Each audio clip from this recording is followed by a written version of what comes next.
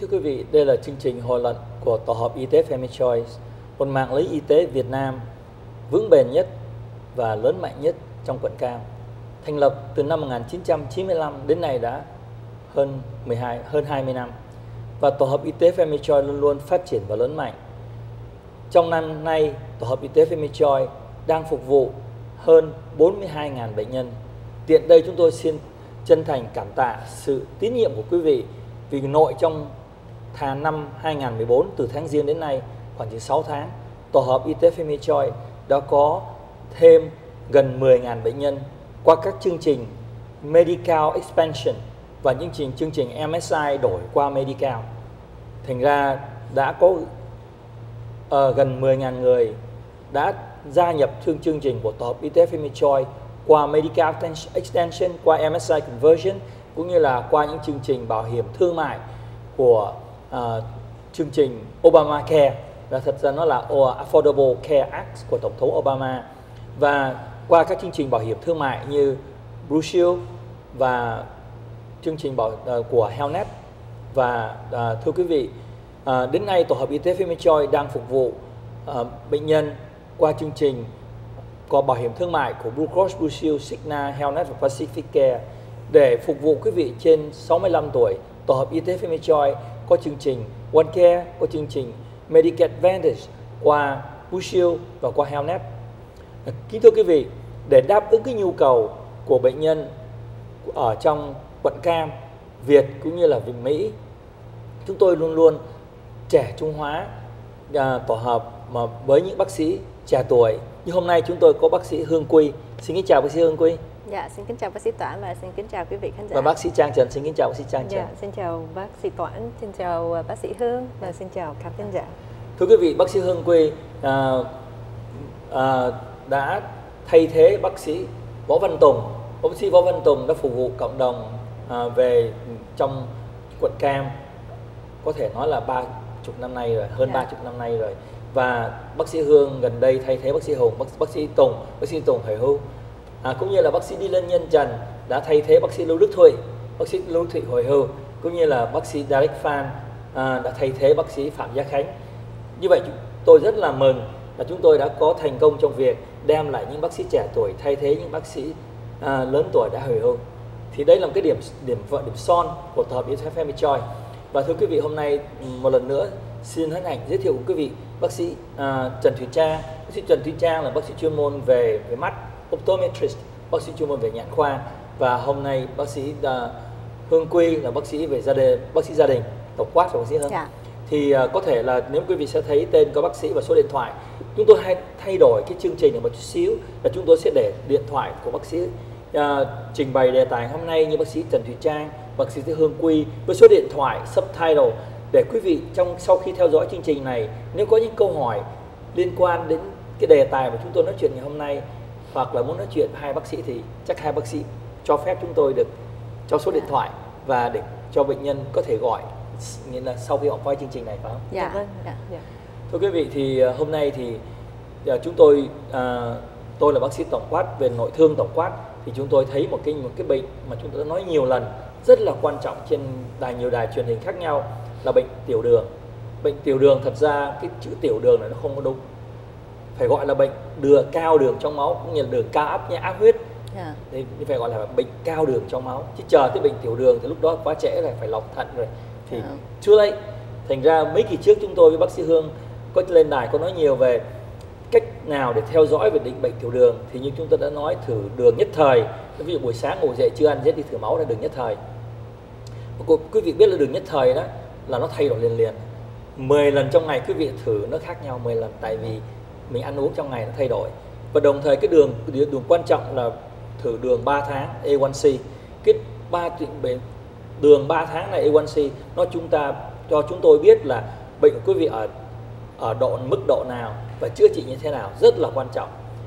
Và hôm nay thì có lẽ là đề tài chúng tôi đề cập ở đây là vấn đề mà những biến chứng lâu dài của bệnh tiểu đường nếu chúng ta không chữa trị đúng mức.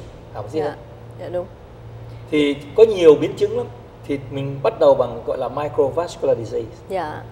Thì um, quý vị cũng biết là bệnh tiểu đường là khi người của mình uh, đường mình ăn xong đường nó lại không có đi vô gan nó không chứa mà nó lại cứ nổi bồng bềnh trong máu. Thì khi mà nó nổi như vậy nó có thể đi tới những cái mạch máu nhỏ và gây tới những cái bệnh gọi là microvascular disease. Thì những mạch máu nhỏ mình có thể nói chung là mạch máu trong mắt là mạch máu rất là nhỏ ha. Thì cái bệnh mà mình khuyến khích mà bệnh nhân mà bị tiểu đường nên đi là ít nhất một năm phải đi gặp bác sĩ mắt một lần là tại vì lỡ mà cái đường nó đóng trong cái mạch máu nhỏ nó có thể khiến bị mù phải không bác sĩ Trang? Dạ vâng, dạ vâng, dạ đúng. Bây giờ thì tiếp lời bác sĩ uh, Hương Quy và trước khi tôi nhường lời cho bác sĩ Trang thì tôi xin nhắc lại cái gì mà tôi nói nhiều lần là cơ thể chúng ta rờ chỗ nào có cảm giác cắt chỗ nào chảy máu thành ra bất cứ chỗ nào trong cơ thể chúng ta đều có những cái mạch máu rất là nhỏ mà những mạch máu nhỏ nhất mà chúng ta có thể thấy được chúng ta có thể nhìn thấy rõ mạch máu được nhỏ nhất trong mắt mình là mạch trong cái móng mắt của trong cái cái uh, khi mình keratina tức yeah, là võng mô của mình yeah. bác sĩ yeah. Trang thì yeah. một người tiểu đường khi chúng tôi thấy một bệnh nhân có tiểu đường như bác sĩ Hương nói là mỗi một năm chúng tôi bảo ông bà phải đi khám bác sĩ ừ. mắt như bác sĩ Trang để coi coi gọi là diabetic retinopathy screening yeah. thì bác sĩ Trang dạ vâng um, trong trường hợp này đó thì nhiều người họ hay tới khám mắt. Thì cái cái cái một một mục đích của khám mắt thì họ chỉ có muốn uh, làm kính thôi. Nhưng mà thật sự mình phải biết rằng là cái cái cái khám mắt nó rất là quan trọng là mình phải coi luôn cả cái sức khỏe con mắt mình. Và một trong những cái uh, bệnh mà mình mình phải uh, chú ý tới là bệnh tiểu tiểu đường hoặc là nhiều đường ở trong máu quá và khi nào mà mình bị như vậy đó, thì nó sẽ ảnh hưởng tới những cái mạch máu rất là nhỏ ở trong cái con mắt mình và từ cái mạch máu đó, nếu mà nó nó nhiều đường quá thì nó sẽ bể. Mà khi nào nó bể như vậy thì nó có sẽ nó tiết ra những cái giống như là mấy cái lipid hoặc là những mấy cái là chất mỡ phải không ạ? Nằm ở trong đó thì thì trong trong cái trường hợp đó, nó sẽ ảnh hưởng tới cái võng mạc và cái điểm vàng. Cái điểm vàng là cái macula, là cái chỗ mà mình thấy được rõ nhất mà nếu mà nó ảnh hưởng tới cái đó thì nó sẽ làm bị sưng mắt và đồng thời uh, uh, bị chảy máu ở cho, cho cả cái tất cả của cái võng mạc. Và từ đó mình có thể mình bị nó gọi là macular degeneration um, xin lỗi macular um, uh, retinal detachment là là tự tự nhiên cái cái cái võng mạc của mình nó bị nâng lên và nó bị rách, dạ. Yeah, nó bị nó bị rách. Và từ cái cái cái sự rách đó nó sẽ gây ra cái sự mù và đồng thời chỉ có không phải là chỉ có bị mù vì cái cái võng mạc không mà những cái mạch máu nó có thể nó vào uh, gần ngay cái chỗ gần cái cái tinh thể của mình. Và nó sẽ uh, nó gọi là uh, nó nó sẽ form một cái gọi nó là neovascularization của của coma là tại vì nó sẽ develop những mấy cái cái mạch máu mới ra vì những cái mạch máu kia nó bị đã bể rồi thì nó sẽ ra mấy cái mạch máu nó nhỏ hơn. Và cái mấy cái và và để để cho nó đủ để cho nó vì nó không đủ không khí thì nó sẽ ra mấy cái mạch máu nhỏ hơn và nó tia ra và mà nó tia ra như vậy thì nó có thể nó làm uh, một cái nó gọi là neovascular um, glaucoma glaucoma là cũng là vì nó sẽ làm cái áp suất nó bị cao quá và nó ảnh hưởng tới cái dây thần kinh ở đằng sau mắt mình thành ra cái vừa cái cả một cái cái bệnh tiểu đường như vậy ừ. nó ảnh hưởng hết tất cả uh, uh, từ cái cơ thể của mình uh-huh. và nhất là cái cái mắt của mình luôn thành ra uh, quý vị nên đi khám mắt hàng năm chỉ uh-huh. không phải là vì để đo kính độ uh-huh. mà để coi luôn cả cái sức khỏe con mắt mình vâng thưa quý vị thì tôi xin và nhắc lại những gì bác sĩ Trang vừa mới nói với một cái thí dụ nó nó cụ thể hơn ví dụ như là quý vị cứ tưởng tượng cái mạch máu của mình nhất là những mạch máu nhỏ của mình như là một cái xa lộ khi mà nó bị nghẹt tức là đường nó cao lên thì nó làm cho nghẹt cái mạch máu đó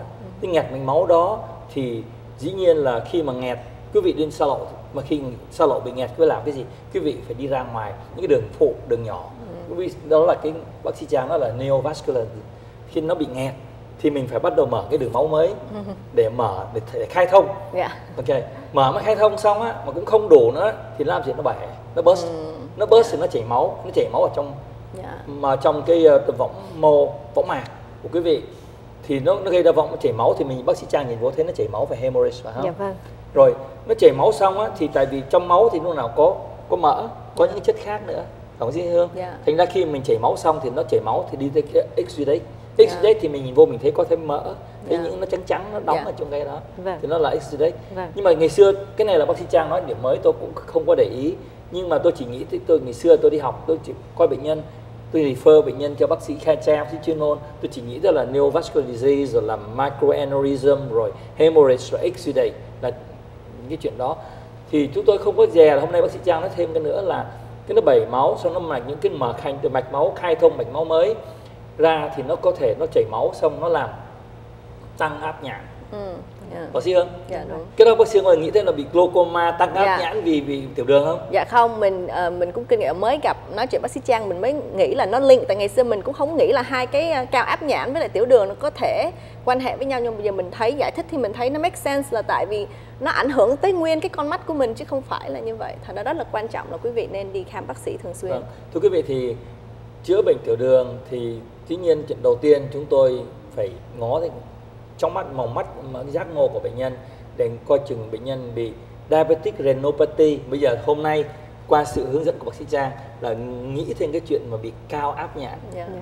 thì bị Vâng. tiểu đường cao áp nhãn dạ và và cũng muốn nói với ờ, với lại cả, cả với bác sĩ toản và bác sĩ hương với quý vị là là cái cái cái thị lực á, của của cái ờ, diabetes á, là có thể trong cái giai đoạn đầu đó mình không có cảm giác gì hết và cái thị lực của mình nó vẫn thấy được rõ nhưng mà cái đó không nghĩa là có thể là cái cái cái cái đường nó đã vào trong trong mắt mình rồi thành ra cái đó rất là quan trọng luôn Dạ.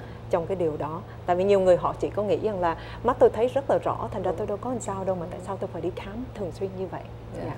Kính thưa quý vị, chương trình hội luận của chúng tôi đến xin tạm ngưng. Xin hẹn tái ngộ cùng quý vị vào buổi phát hình kỳ tới. Tôi hy vọng quý vị tiếp tục theo dõi à, chương trình của chúng tôi với bác sĩ Trần Thùy Trang, bác sĩ Hương Quy. Xin kính chào à, quý vị, xin cảm ơn sự theo dõi quý vị và xin cảm ơn hai bác sĩ. Dạ, Dạ. xin cảm Dạ. cảm ơn bác sĩ Toại